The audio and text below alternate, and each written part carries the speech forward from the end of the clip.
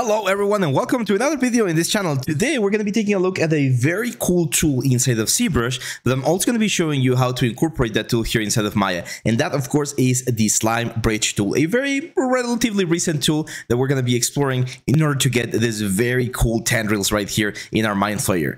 It's a very simple tool, it's not going to take long, so let's go. So first things first, in order for us to be able to use this a bridge tool, the, the slime tool, we need to make sure that we don't have subdivision levels levels. So this Mind Flayer head that we did a couple of uh, weeks ago is uh, it has multiple subdivision levels. So I'm going to go to let's say this subdivision level, maybe this one. 190,000 seems like a good point. I'm going to clone this. I'm going to work on a clone right here, and then we're going to incorporate everything. Now on this clone, I'm going to go to the geometry option. I'm going to delete lower and delete higher so that we don't have any subdivisions. And this is our final mesh. And the tool is super simple to use. It's like the most simple tool ever. You're just going to mask an area where you want to have slime and mask the area where you want that slime to be connecting to. So let's say those two points right there. Once you have that, you just go to the slime bridge and there are a couple of things that we're going to be modifying. So let me show you what happens with the default settings. With default settings, we get this super weird and super extreme effect. And this is because we have multiple branches, multiple bridges, and multiple capillaries. So capillaries are these like little small thingies, like very, very thin effects that are going from branch to branch. Branches are the things that connect the bridges and the bridges are are the main effects right there. Now you can see that there's a little bit of a curvature right here. We can try to like play around with it and modify it a little bit, but it depends on the normals of the faces that you're masking from. So it won't do a straight line. It will always try to do this sort of like curved line, which again could be useful depending on what you're going for. But let's say we want something that's a little bit more um, straight. We're going to grab faces that are a little bit closer in their sort of um, normal facing angle. As you can see, that one gives us a straighter effect between both elements.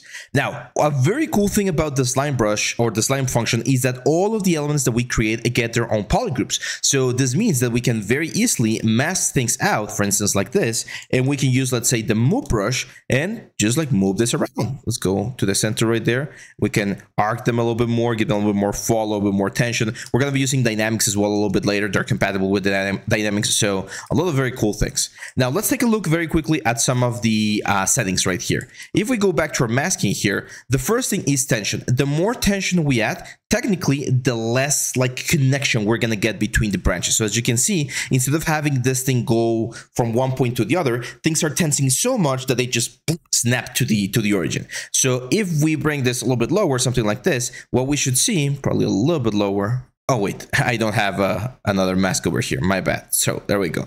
So let's add a lot of tension right there. And what we should see is things are going to be a lot more straight. If we really bring this up into the tension point, we should see a very, very intense and very straight effect, not a lot of loose elements. So if you have, let's say, a character with the mouth open and you want to have this very like sharp, clean lines, then bringing the tension up might be a good idea. Otherwise, as we've mentioned before, with a low tension, we're going to have this sort of like curve falling off effect. It's not going to be like super, super, like there's not going to be a lot of gravity, but it's going to be a lot looser, as you can see right here. The bridges are the numbers. Let's bring the branches down and the capillaries down. The bridges are the numbers of main connections. And as you can see, we set a number of 20, that does not mean that we're going to have 20. That's just the density that it's going to try to assign to that specific area. And as you can see, in this case, we get like what, 7, 8, something like that, which again looks very, very cool. Um, another thing here is, of course, if we add branches, the branches are going to connect the bridges. So as you can see, we're going to get some connections between the branches and the bridges. And the capillaries are going to be this like very weird connections between the bridges like that. So depending on what kind of effect you were going to go for, if it's a root, if it's a bane, if it's like something, you're going to have a little bit of this. In my case, I personally like using capillaries and not a lot of branches because branches give you a lot of like very weird uncontrollable controllable effects like this. So it looks very random. Again, if this is something that you're going for, that that's fine. But um, I, I don't personally like them. I really like capillaries because when you add capillaries, you get a lot of connection in between the elements. I think I went a little bit crazy there, but you can see this is very like cool organic effect. Now, quick tip, if you guys are going to be doing 3D print, remember, 3D printing has a little bit of an issue with very thin areas. So if you have something like this, my advice would be to just inflate things a little bit so that you don't have super thin effects. And you're probably going to want to dynamesh everything as well so that you got um, a watertight geometry.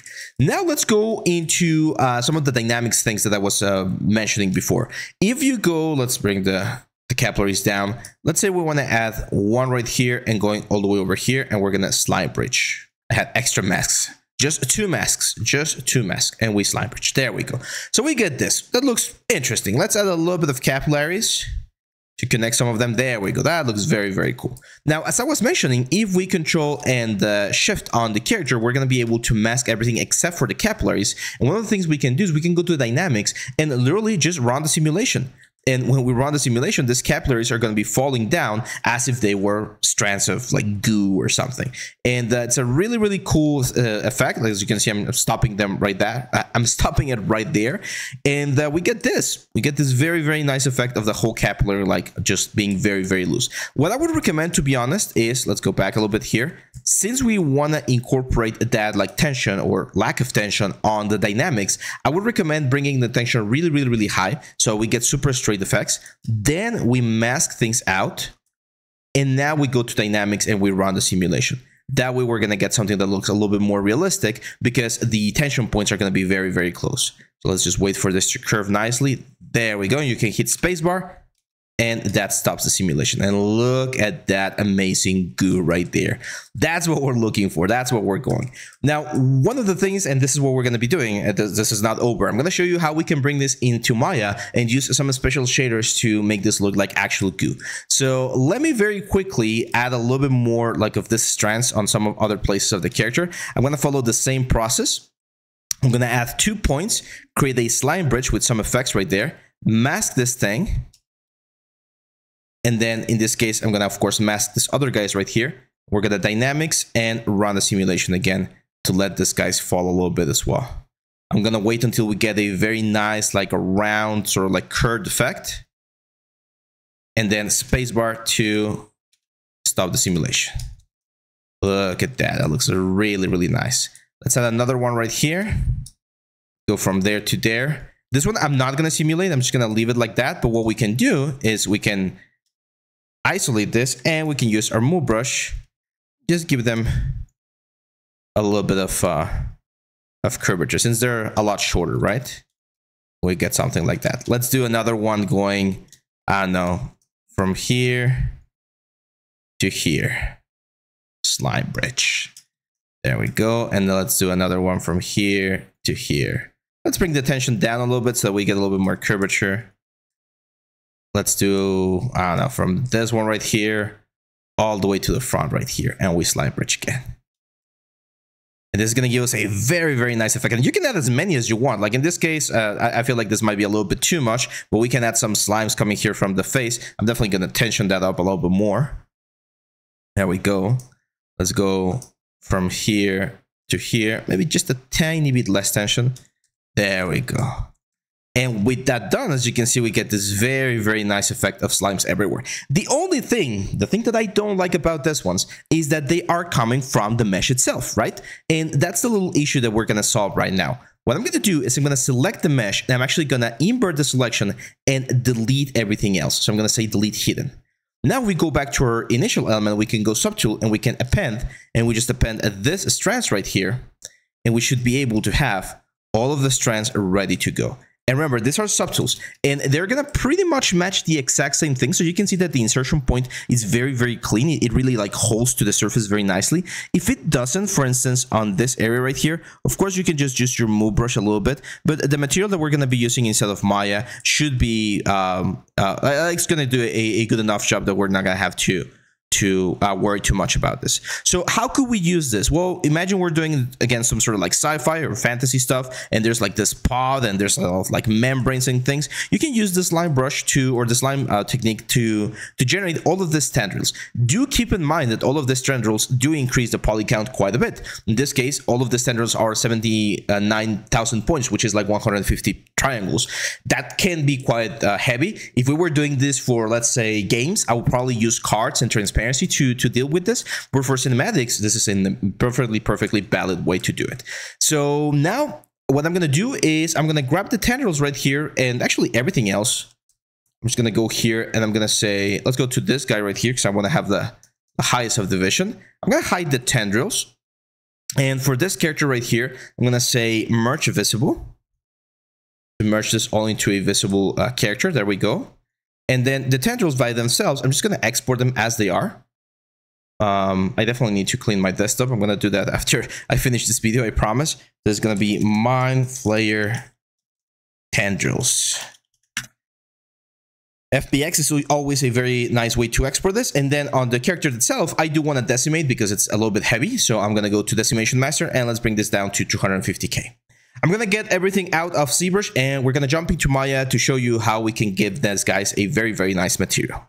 Very well, so we're inside of Maya and we of course need to bring in our elements and I actually already have a um, a scene, a, a, render, so I'm gonna open the render scene just so that we don't have to do everything again. I don't remember if I scaled this guy, I definitely did, so one of the things that we're gonna have to do is uh, change a couple of elements.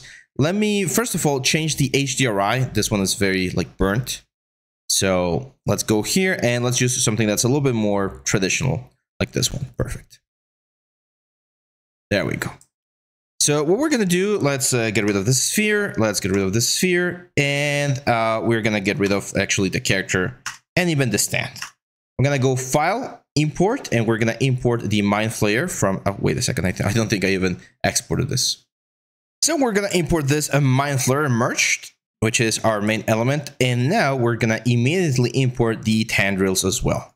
The reason why we need to import both at the same time is because now if we want to scale them, we definitely need to scale them at the same time. So I'm going to control G to scale them and I'm just going to scale them to a normal size. Remember that inside of Maya, the scale usually is one centimeter. So I would expect this head to be quite, quite big, at least like 40 centimeters. So if we grab this cube right here and we change its scale to 40 centimeters or Oh, Let's go here to 40 centimeters. There we go. That's roughly the size that the head should have. So I'm going to go right around there. This is going to be helpful for a variety of reasons, but the most important one is that we're going to be using a glass shader or something that looks like a glass. And if we don't have real scale, then the glass material is going to behave a little bit weirdly.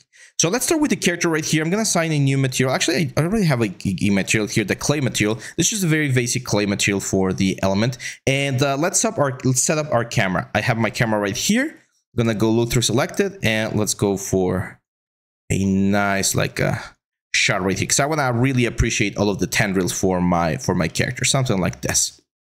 So if we go to the options, remember that inside of Maya, you have the option to render with GPU if you have a GPU enabled on your computer, and that should give us a little bit of a faster render. Let's give it a shot.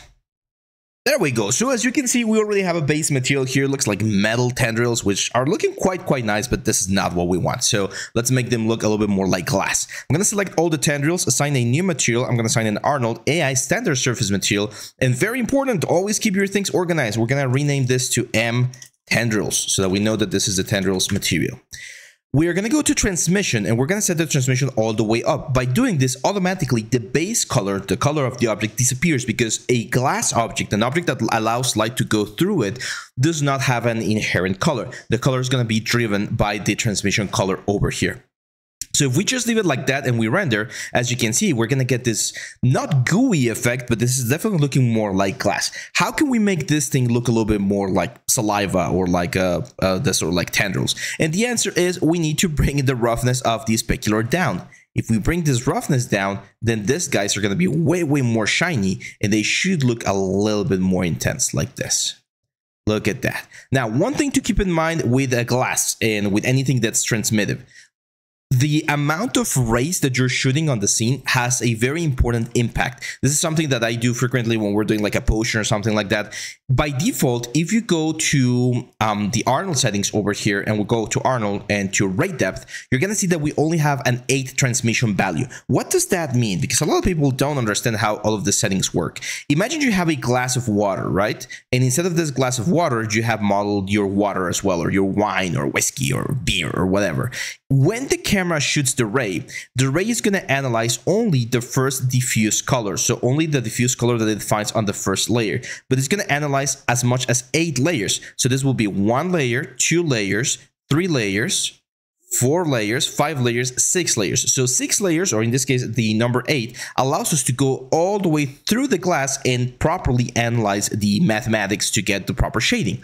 However, imagine that back here we have a mirror and we're going to see the reflection of the glass this means that the ray is going to bounce back and by, by the time it comes back it's not going to have enough ray depth to analyze all of the surfaces. So you might get some dark or not as shiny glass as you might want. So my advice uh, at least for just a basic um, like test is to jump to 4 4 and 16 um, diffuse specular and transmission depths. And you can see i'm gonna save a, a little picture right here. You're gonna see the difference once we render. There's gonna be or the glass is gonna look a little bit lighter in certain areas. Look at that you notice that? Hopefully you do, right? There looks like there's more light going through the glass or through the tendrils. And again, the reason why that is happening is because we got a little bit more power to go through all of them, analyze properly, and bring back the information into our RC. Now, what other things can we change? Of course, the color. Right now, the color is white. And I'm not sure what the color of these things would be, but I kind of want to go for like a, this or like pale purple. So if we change the transmission color, what we're going to have now is this sort of like pale purple color on our tendrils. That again looks very, very interesting. That's definitely way too saturated. And then that, that's one thing that you're going to see with glass. Even just a little bit of color is going to like really, really paint your glass. And that might not be exactly what you want. That looks a lot better. Look at that. Beautiful. One more thing that we can play with is the depth. The depth is how, how the transmission is going to go through a volume in the object. If we increase this depth, if we set this to 1, for instance, let me save an image right here and render. What we're going to see is that now we're not going to have as much or we might have a little bit more or less color because now it's going to try to analyze how deep the volume of the glass is. As you can see, this is definitely taking a little bit longer because it requires a little bit more math to really get this like a, into a proper calculation. So let's give it a, a little bit of a couple of minutes to get this done. There we go. So as you can see now with a little bit of depth, what's going to happen is the the more or, or the thicker areas, we're going to get a little bit more of the purple color and the thinner areas, things are going to look a little bit less uh, colorful because there's not a lot of depth. The more depth we have, the more like scattered the, the light is going to be. And this is a very similar thing that we see, for instance, if you go to a lake and you go to the very like deep parts of a lake, you're going to see pretty much nothing because there's so much volume and so much water that it becomes very dark. And on the on the borders of the lake, things are going to be a lot lighter because, uh, well, we have access to, um, or we can see less volume, less water. Now, if you want to modify that, of course, we can like bring this down, let's say to like a 0.5 to reduce a little bit of that effect. And we should have a little bit more pink color along the areas of our character. Now, keep in mind again that, that transmission, glass, and anything that plays with this sort of effects is is um, it can be a little bit complicated to work with because you definitely need a lot more samples. So be patient with your renders and make sure you add enough samples to get the proper result.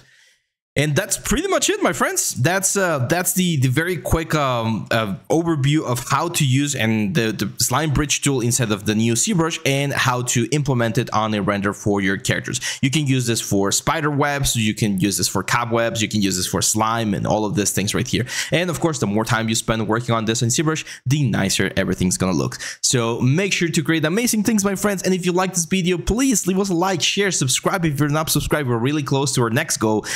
Uh, don't forget to join us in our Discord. We have an amazing community. We got challenges, we got portfolio reviews, and a lot of very cool stuff that you can do. We also have premium courses. So if you want to learn a little bit more about the softwares that we're teaching here in the channel, make sure to check the links down here in the description. Thank you, my friends. I'll see you back tomorrow.